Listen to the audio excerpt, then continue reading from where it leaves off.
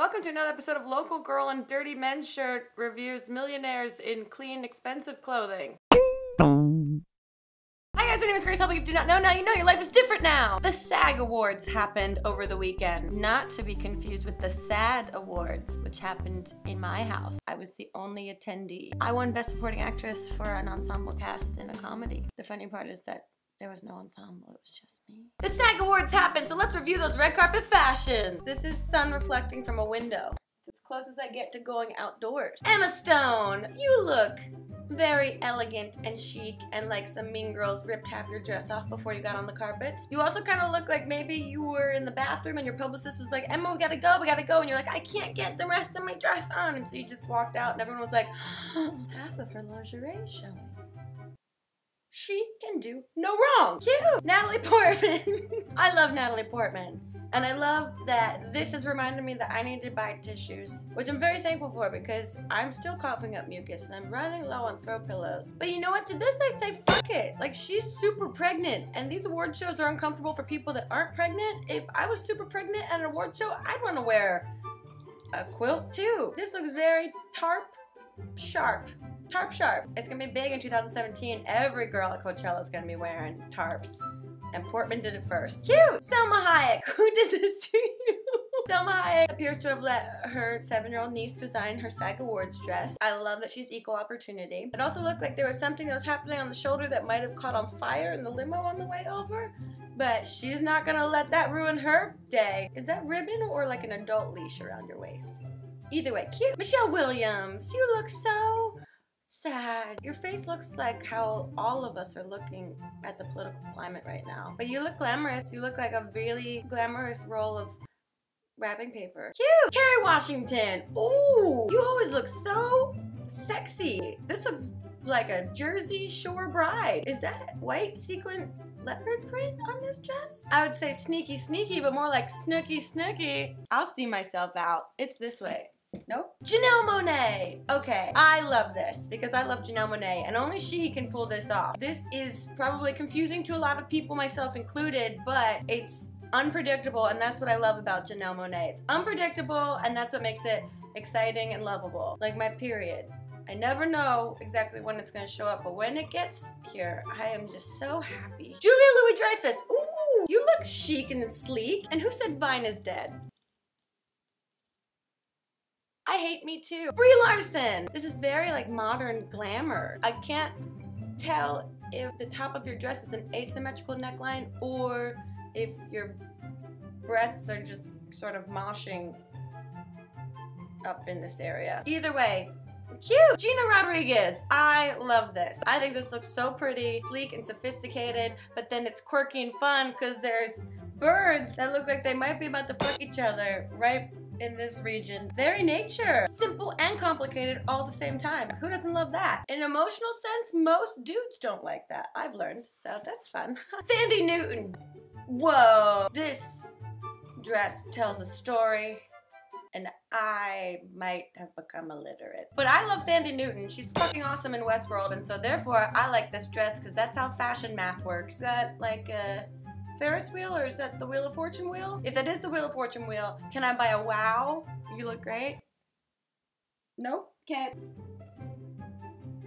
Taraji, what are you doing to me? You look amazing. Your eyebrows, as always, look amazing. Your boobs, as always, look incredible. Who put those bows on you? Someone pranked you with those bows. They're like two little kick me signs. They just look a little out of place, but that's okay because you make me feel out of place in this universe because you're just so good. And that's cool. Sofia Vergara. Ooh, this is different for Sofia. Usually she wears like full upgraded prom dress chic. And this is a short, cute little number. And she looks very upset with it. looks like a 16 year old whose mom like forced her to wear like the hand-me-down dress that her grandmother gave to her to give to her for her homecoming and she is not happy with it. But like I said, Sofia's used to like a full-length ball gown and you can tell those ankles are a little insecure about being exposed. So I appreciate you stepping out of your box, Sofia Vergara. Sophie Turner, this looks great. You look great. Can you just fuck up once in a while so I have something to say? Julie Bowen, this is really cute and sexy and elegant, but I think I might be actually looking at her real vagina, but I'm trying not to. I think the woman behind you is also in the same boat as me. Kate Hudson made a lot of choices with this ensemble. I like to imagine that she went to her stylist and was like, uh-uh, we're not doing one bandeau top, we're doing two. Uh-uh, I'm not wearing the corsage around my wrist, it's going around my waist. Uh-uh, that cape's not going around my neck, we're cutting it in half and putting each cape on my shoulder. And the stylist was like, Ma'am, you're in a Starbucks. Cute! Viola Davis, don't you look like the fanciest, most elegant mother of the bride? She always looks so sophisticated. Oh, here comes the wave of feeling like an actual pile of garbage. Cute! Ellie Kemper! This is so pretty! Blue velvet? Very trendy, but still so sophisticated. I gotta say, I'm a big, big fan of velvet. Isn't it sad to announce that you're a fan of a fabric? Kaley Cuoco! Okay. Maisie Williams, look at this old Hollywood goth, elegant emo person. More descriptive words. This is like Avril Lavigne and Marilyn Monroe, Freaky Friday. Really cute, girl. Claire Foy, oh boy. Whoa, okay. I feel like the dresses on the red carpet SAG Awards went one of two ways. Super simple, elegant, or like every possible choice a dress could have on it all at the same time. And this one's the latter, but I don't hate it. And that's always a fun thing to say to another human that's putting themselves out there in a vulnerable way. a lot of choices have been made, which is great because you do better on your SATs when you make a choice. Ariel Winter, winter is coming. Whoa, this is super sexy, but still like elegant and young. Am I looking at a glow up? This looks so good. Good for you, girl. Also, those two men behind you are like the stock image photo that comes up if you Google image search old men oogling young women.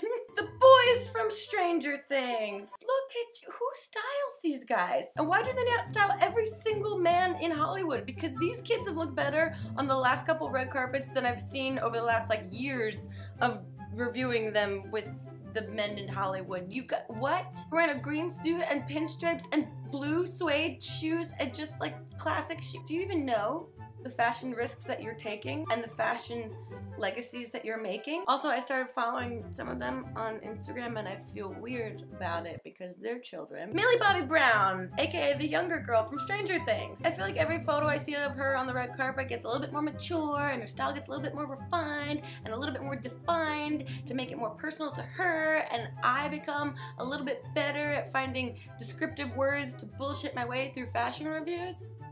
Cute. There you go. There's my review of the red carpet fashions at the SAG Awards. Leave a comment down below and let me know who was your favorite fashion thing at the award thing. If you like this video, don't forget to give it a thumbs up and click this button to subscribe to this YouTube channel because I make videos Monday, Wednesday, and Friday on an extremely inconsistent but pleasant basis. I don't know. Memory Heart! Look at you! What the fuck? You look great! I don't mean to sound shocked as if you don't always look great, but you look beautiful here. You're wearing pink? It is taking all of me not to make a two in the pink, one in the stink joke right now.